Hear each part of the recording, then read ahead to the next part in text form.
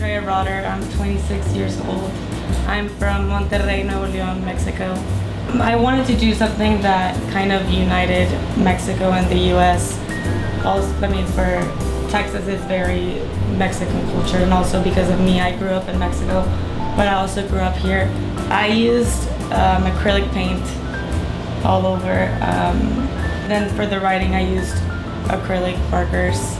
The Day of the Dead for me means just remembering family members that have passed away, or anyone that you know that has passed away, and just once a year, just kind of dedicate the day to them and just remember how much they you love them or how they impacted your life, and to celebrate them.